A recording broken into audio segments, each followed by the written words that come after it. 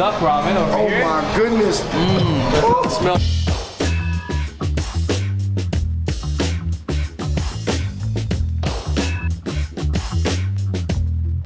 What's going on, everybody? Welcome to another very special Fung Bros food crawl. As you may or may not know, second generation Americans all across America, and especially in New York City, are getting known for opening food and beverage spots. Everything from restaurants to cafes to dessert spots to bars. First spot up is called Yokoya, which specializes in Yokohama style ramen. Let's go.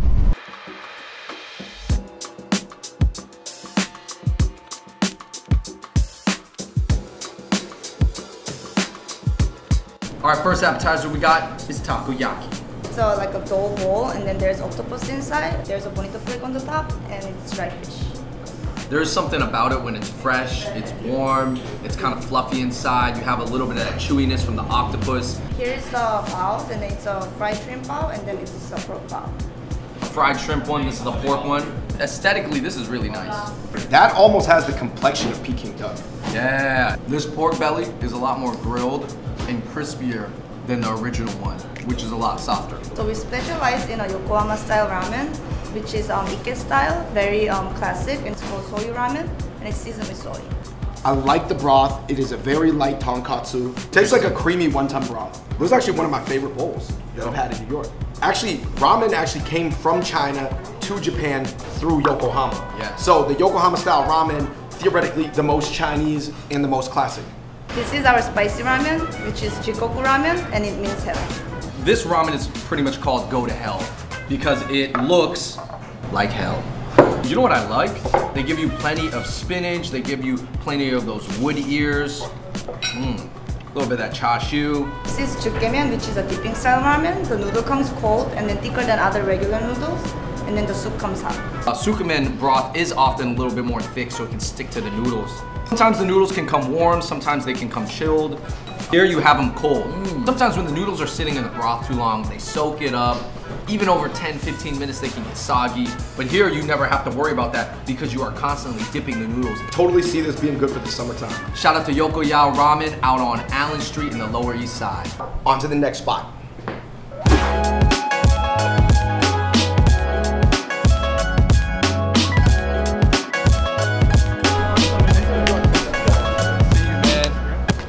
Our second spot is An Choi. It is owned by Tuan. Yo guys, welcome. This is An Choi, established 2009. This is Lower East Side where we did Vietnamese food OG. Basically there's an extreme. There's like super high-end fusion spots like Indochine, and then there's the hole in walls in Chinatown, which is like mostly run by Chinese, but nothing in between. I wanted to bridge the gap. Yo, man, this spot is dope. You definitely got to check it out. Let's head inside.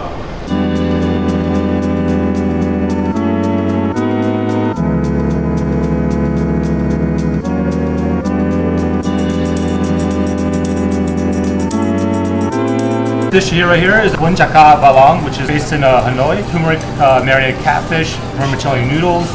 You got dill on top of that with scallions, some herbs like uh, basil and mint, black sesame crackers, and then pickled red onions, some going super fresh, good flavors, good taste. I remember when I saw the dill, I didn't know they had dill in Asia. Yeah, right? Being a second gen guy repping your culture, what gave you the confidence to do that? We're of a, a generation where we're trying to merge like our identity of uh, being American and being, let's say, Vietnamese or Chinese or whatnot. What we bring to the table is uh, a new perspective. So this right here is the pork and shrimp summer roll. We call that the goi cuon with a side of the peanut hoisin sauce as a traditional dipping sauce. It's a good ratio, not too much noodles. This right here is our take on like the Vietnamese classics. So right here we have the beef pho, which is like the most popular probably Vietnamese dish, most common dish that Americans know about. And then also our original sandwich is the banh mi đặc biệt, which is like with um, head cheese, pork belly, pate, aioli, peppers, and then pickled carrots and daikon. We serve it as a combo, so that means you can choose your sandwich and your soup. Okay, so you kind of did it like the American style. You have a soup and sandwich, like a half Exactly. half. This is like a Panera bread. No, I'm just kidding. I think Vietnamese, out of all the Asian cuisines, it's the only ones that's got the soup, salad, and sandwich combo. Yeah. Because no one else got the sandwich. Took the colonization and we made something great out of it. Hey, you flipped it. we flipped flipped it. it. You Each other jalapenos. Oh, I'm, I'm with it. See that bread, how squishy it is? Oh man. Look at the quality of that beef. It's delicious in Vietnamese. I've been told is nong wak. Yo, this combo right here, everything, everything in entree is nong wak. Definitely, man, if you guys are trying any Asian food in New York, definitely check out An Choi, OG spot. On to the next spot.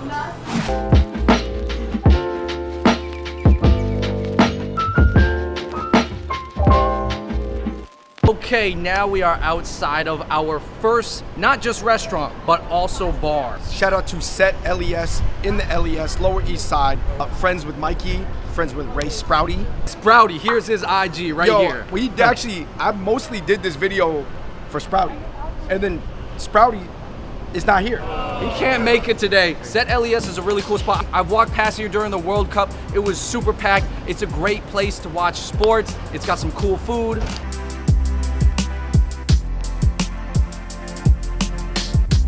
All right, guys, we're here at Set. This is a popular bar in the LES. Right now, they have some, they're bringing out the dishes for us. We have the char-broiled oysters with garlic butter. They are hot and beezy right now. David is burning his fingers. Oh my gosh. How's it taste like butter garlic twists, but on oysters? Garlic knots, oysters. Wow. We've got Vietnamese buttered steak cube skewers. Vietnamese butter. What's that even mean? You see, they are dripping with juice. For bar food, is super good. Two sunny side eggs, Vietnamese skirt steak, and garlic tater tot. You know what I like about what they do here at Set LES? Is it's very American, but also they put the Asian fusion in there. Mm-hmm. It works great because the base is American, but I would say it's less than 50% Asian. I'd say maybe just the marinade's Asian or just a little bit of the sauce is Asian. Last but not least, here at Set LES, we have cheeseburger spring rolls. I taste the Asianness, I taste the spice. It's more like a cheeseburger casserole, in my opinion. It's almost like a jalapeno beef ball stuffed into an egg roll. All right, guys, if you get a chance, come by Set LES for a nice drink and some good food. But on to our next spot.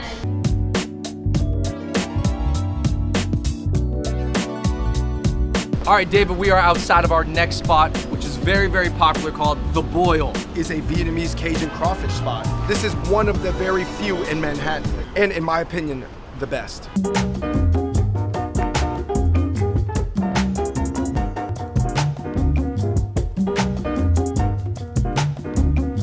Yo, everybody, we're here at The Boil. It is jam-packed. We're here with partners, Mikey and Donald. Yo, thank you so much for having us here, man. Yo, what does it mean to do the Vietnamese Cajun crawfish style in Manhattan? You know, we're Vietnamese, we got that blood in us. I mean, we're the first ones to do it in Manhattan. We took the risk, you know, and here we are five years later, you know. Guys, we are here in the back of The Boil, and we are about to be tossing our own seafood in the sauce. Yo, I always wanted to do this. So dry seasoning in there first, Dave. So what, what, what, what I do? Shake it up. Toss it, dude, like this. Okay, oh, Hey, oh, oh, okay, okay. David. Yo, I don't know. Finesse, finesse, David. Don't mess it up. Yo, man, don't put no pressure on me, man. Oh! Hey! Hey! Step number two. That's butter. Woo! That looks like cream of corn. Oh, so it got with the dry seasoning, and now we added the butter to make it saucy. Yeah, man. There you go. That's it, man. Ginny, would you like to say hi to the camera? Hi, nice to meet you, you too. this, this is all the special. Oh, all the special. Yeah. All right. Real quick, Ginny is gonna sit in for David and gonna show us how to break down how to eat the crawfish. Pick up the crawfish, so you just go back and forth, and then you'll feel it kind of separate. Got it. So you'll want to bite down and suck out the juice. So, so almost like a shrimp, I start from the bottom and I peel around it. Okay. You got it. And you just pull, Hey. just like that. And then you have to dip it in the sauce. Back into the sauce. Yeah. We're at it. Snow crab, I feel like it's easiest when you just kind of like hold it in the middle and Okay. snap it. Ah, clean break. Yes, the clean break. Aside from the seafood that they have, the amazing clams, they have this fried soft shell crab. Fried soft shell crab, one of my favorite things to eat in the entire world. These look incredible. Yo, double dragons. Choo, choo, choo, choo, choo, choo, choo. I thought you were gonna connect the crabs, bro. Oh, Oh man, is that what they do?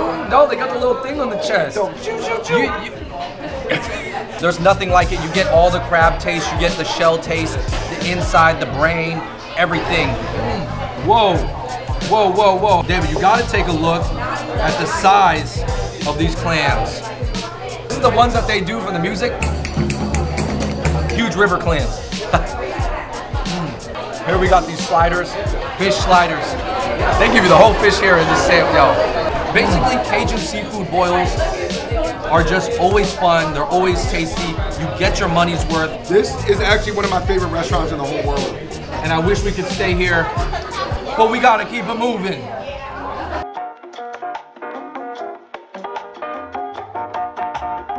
Okay, our next spot is called Shinka Ramen here in Chinatown. This is a brand new spot, and they definitely do not serve traditional ramen here. I think we're gonna be doing something with bone marrow, some duck ramen. Let's check it out.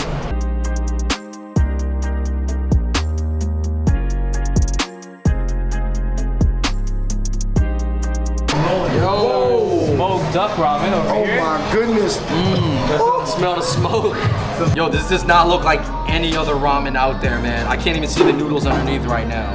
Fresh apple with smoke with some organic baby carrots. We got some fresh lotus fruit over here and some freshly smoked duck. Yokoya is like so classical, and this is so new school.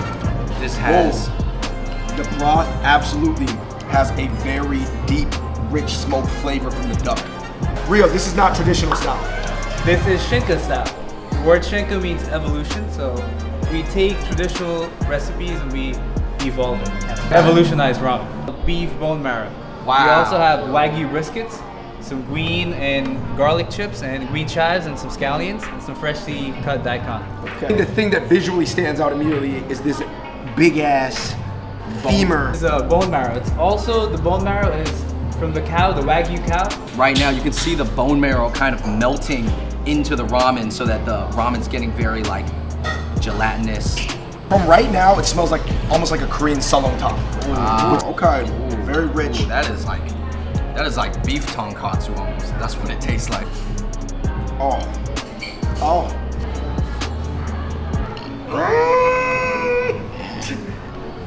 That's good, bro. Yo, It's very Wow. rich. What I usually do is I take the whole bone marrow out, all the cartilage, and kind of mix it with the broth. So it makes it a little richer. I personally take a little bit of the shichimi right there. It gives a little extra flavor to it, a little kick. Ryan Hui is in the building. What's up, man? What, How what, are you? what have you been up to, man? Tell the people. Um, right now, guys, I've been working at a social media company called Full Screen Media. David and Andrew helped me out so much when I was working with them. Honestly, guys, I appreciate everything you did for me, and I'm still doing that right now. I want you to try the bone marrow ramen, man. Ryan, The everybody. broth's not bad. I mean, the noodles definitely like tender, and honestly, can't say anything else more about it. Right, Yo, man, Ryan, a few Ryan, words. You got the bone marrow tangled up in the web of noodles and just delicious. All right, man. Thanks for having us. Of course, thanks for coming. Shinka Ramen, Chinatown.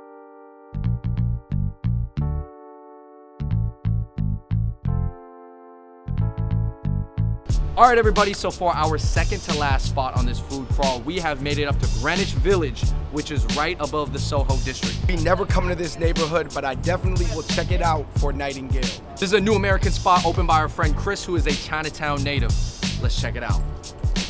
We are here with Chris. Yo, Chris, guys, thank you so much for having us. It's another challenge for me. Something I always wanted to do. You know, bring a little um, Chinatown flair to the West Village. You said the food is new American. So we actually want the we want the food to reflect from what's in the heart and the mind of the chef. If you guys want to see crazy rich Asian aesthetics, come to Nightingale in the West Village. And, and if you want to see crazy lit Asians, go follow him on Instagram. Nightingale. Let's go eat some food.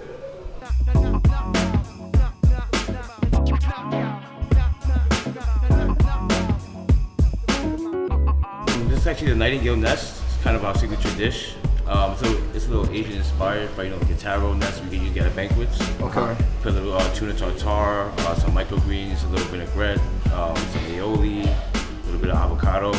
Ooh, you said Then you- microgreens, But, but then bro. you said you replaced the taro with uh, more Western ingredients, right? Potatoes. Potatoes, right? So this is a potato nest. Yeah, for Okay. sure. I love it how it's still holding together, you know? Like even though I cracked it, dude, that's so refreshing. I like it because it has like that refreshing green tuna flavor. Chef Tony, man. What up? Yo. Right now, squash blossoms are like beautiful, perfectly in season. So I make a champagne batter, uh, smoked ricotta stuffed. So kind of accentuates the lightness of the actual dish. So then we have a Spanish saffron aioli, a little romesco, which is like a like a Spanish kind of condiment from piquillo peppers, sort of almonds and garlic. Elderflower honey, a little basil powder, a little love, a little finesse, a little sexy, you know. Damn, bro. Yo, I've never even seen anything like My this chef before. right there. The first time squash blossom. To Nightingale. I don't know if that, I have the vocab to even describe what I just ate.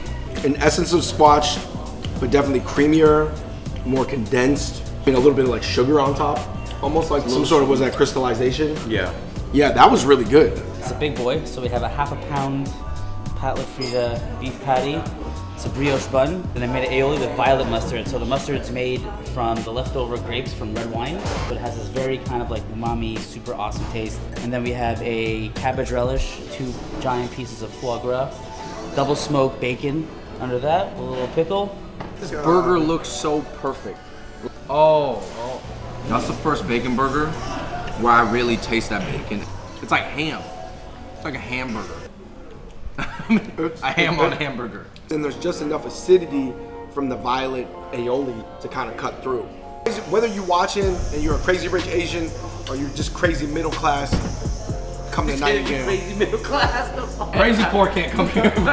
Just kidding, it's not that expensive. It's pretty affordable. No, that's good. It's affordable. It's affordable. All right, but to close up the video, we gotta get dessert and we gotta go back to the LES, to one of our favorite and most Hong Kong inspired dessert spots, New Territories. Satine.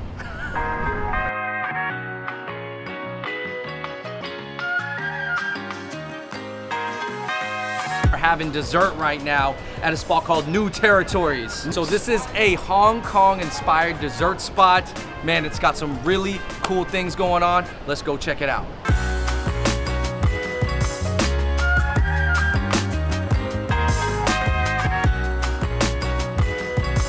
So this is the Unicorn Parade. It's our most popular milkshake. It's made with vanilla bean ice cream mixed with fruity pebble, topped with assorted marshmallows. There's a lot going on in this milkshake, but I think I gotta just uh, drink it like a like a regular milkshake. Pocky stick marshmallow right here. The, the milkshakes here are super good though. Oh my gosh. Shout out to George and Peter. Uh, this place is owned by second generation Asian Americans. This is our second popular bubble waffle, made with a honeycomb ice cream, caramel ice cream with a vanilla base, and topped with rose petals. I would say sometime around 2016, it became totally socially acceptable in America to eat flowers. Yes. They're not playing, bro. Mm. Like a bee would land on this right now. No. A lot of the egg waffle is very dry on the inside, but these are very fluffy. Yo, this honeycomb ice cream is lit. These are their classic flavors, but now we got some seasonal flavors right here. You got guava on top, and you got cantaloupe on the bottom. My goodness. Let's try the cantaloupe. Mmm. Yes, good. It is rare to find a place that looks amazing and tastes amazing, and New Territories does that. All right, you guys, thank you so much for watching that food crawl through the Lower East Side. Me and Andrew had the fortunate opportunity to live there for a couple years now. It's just one of my favorite neighborhoods in the entire world, and I hope you guys can see why. And I wish everybody the most success, and I hope that in they inspire more people locally in the LES as well as around the globe to do their thing. Asians, right here. This is the. You're looking like one right That's now. the shot. More like Prince Harry. you should come out with me and meet my mom. Yo, shout out to Henry Golding.